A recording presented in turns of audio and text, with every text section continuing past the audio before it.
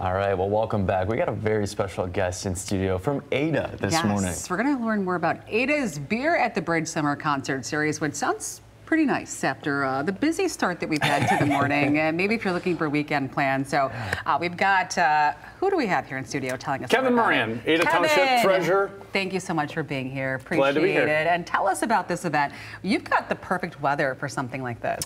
Yeah, we do. It's looking like a phenomenal weekend, and if you're looking to ease into your weekend a little bit, uh, there's no better way to do it than. Yeah. Uh, you know, come down to Beers at the Bridge in Ada. Starts at six o'clock, goes till nine, and uh, it's just uh, turned out to be one of the premier events that we have in Ada Township. Yeah, Yeah. Ada has so much to offer. I mean, there's new restaurants. It's just a very walkable, very cool Very cute, community. yeah. Uh, so what can people expect? Because obviously beer. Yep, no doubt. but the atmosphere is going to be a lot of fun too. Yeah, the atmosphere uh, goes without saying. It's just everybody again easing into the weekend. But uh, with that said, you know we do have beer. We have Soul Syndicate that's going to be playing. So people come down for a variety of reasons, whether it's the beer, whether it's the music, or whether it's the food. We have uh, usually everything uh, you're looking for.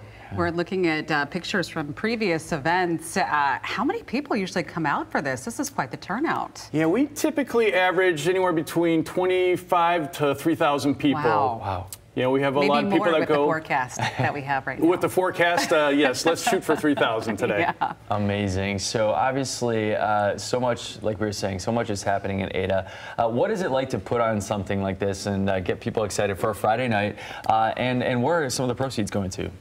Yeah, well, the event itself is kind of probably part and parcel with the whole Envision Ada. You know, we bring in businesses, we bring in residents, and now we just want to bring in the people to experience what we've done in Ada over the last eight to 10 years. And seeing that come to fruition has really been exciting to me, Yeah. uh, being the treasurer, and uh, just seeing Ada reach its full potential. It's it's Yeah. been it's been a great experience for me. Yeah, it's a short drive from Grand Rapids Yeah. if you're heading that way.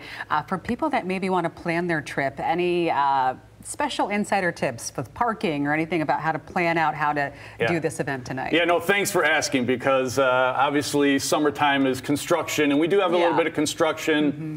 Uh, they're working on the bridge that goes over to Thornapple. So if you're going to bring your family, again, it's a family-friendly event. Yeah. I just plan to come down a little bit early. That bridge that goes over to Thornapple, especially if you're coming to Cascade, is just down the one lane. They do Mm-hmm. Have a light there, but uh, it may slow you up just a little bit. That's good So to come down know. early. I always like that heads up, you know. the park's Right. always open, Legacy Park. Okay. Amazing. So music, beer, beautiful weather. Oh my gosh, And good company. yes. What more could you want on a Friday night? so we always appreciate you coming in. Even some cool swag here as Mm-hmm. well. But we'll get all that information on our website, Fox 17 online. But Yeah. we hope for a great night and great turnout for you guys. Thank you. Thanks it so should be a fun night. Thanks for being here. Thank Appreciate you. your time.